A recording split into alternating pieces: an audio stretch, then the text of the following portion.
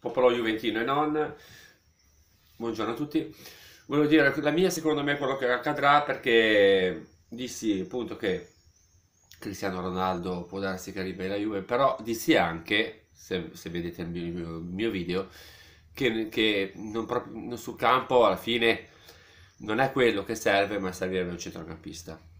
Allora, sto, tutto questo polverone che si è alzato, io comincio a vedere oltre e sono sicuro che arriverà un pezzo grosso, sono sicuro che arriverà a, anche a centrocampo, sono sicuro che purtroppo per le altre squadre sia a centrocampo, perché vedete Cristiano Ronaldo è il classico eh, bomber come, come, l'Inter che ha Icardi che fa una caterva di gol e non vince un tubo. Non arriva nemmeno seconda non arriva nemmeno terza questo la dice lunga.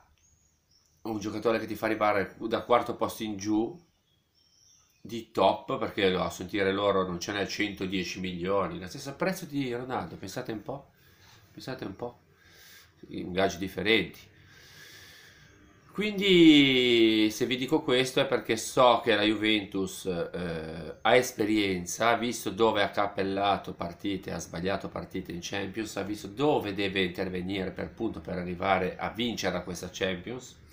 Ha già preso American che è un giocatore di questi, di questi, in questa direzione. E in difesa sicuramente prenderà puntellerà ha messo in porta due portieri che in questo momento nessuna squadra al mondo ha due portieri di quel livello lì. Guardatevi i mondiali guardatevi e poi, poi ne parliamo. E chi è rimasto a casa. Quindi si parte dal portiere e lì si è, si si è puntellata. Bisognerà mettere eh, Cancelo un giocatore che per carità non ho nominato ma in difesa deve migliorare. Abbiamo anche De Sciglio che secondo me è quello che sa fare meglio, lo sa fare dietro, Cancelo davanti, quindi, quindi sono due giocatori, anche se De Ciglio gioca sulla fascia opposta, sono due giocatori che abbiamo dato via giocatori come Asamoa che hanno sono spremuti fino al cervello, poi magari farà ancora bene per carità, ma se si vuole puntare alla Champions devi dare via questi giocatori abbiamo un centrocampo che abbiamo per adesso, attenzione perché c'è Betancourt che, che si sta veramente proponendo come top player, non è un caso che lo titolo voglia, ma col, col... lo tito, lo tito, tienitelo, tienitelo, te lo tieni con i coglioni girati perché lì non vincete un cazzo, eh? te lo tieni con i coglioni girati e vediamo se come l'Inter arriva qualcuno. Avete visto i cardi che lo vuole? Nessuno. Perché i Donato Inglese, i, i Davide e altri. Cari teste di calcio, che non siete altro, che parlate, parlate, parlate, parlate, parlate, poi alla fine chi ha ragione lo deve dimostrare con i fatti. Se nessuno vuole comprare i cardi, vuol dire che Icardi non è un campione.